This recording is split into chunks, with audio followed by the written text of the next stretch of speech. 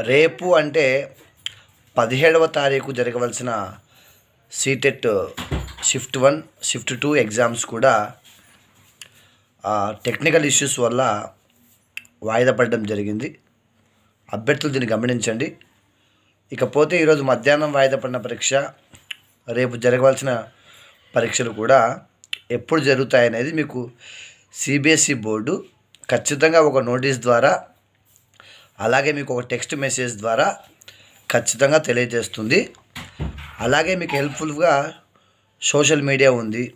అలాగే నా లాంటి వాళ్ళు వీడియోలు చేస్తుంటారు కాబట్టి మీకు హెల్ప్ఫుల్గా ఉంటుంది. అనవసరమైన టెన్షన్ ఏం పెట్టుకోవద్దండి. పరీక్ష ఎప్పుడు ఉంటే అప్పుడే రాదురు.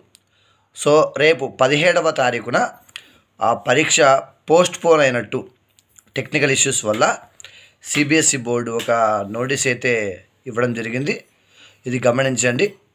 ఒకవేళ మళ్ళీ జరిగేట్టుగా ఉంటే కూడా మీకు మాకంటే ముందుగా సిబిఎస్ఈ బోర్డే తెలియజేస్తుంది. సో మీరు అనవసరమైన గందరగోళానికి గురి కాకుండా అప్డేట్గా ఉండండి.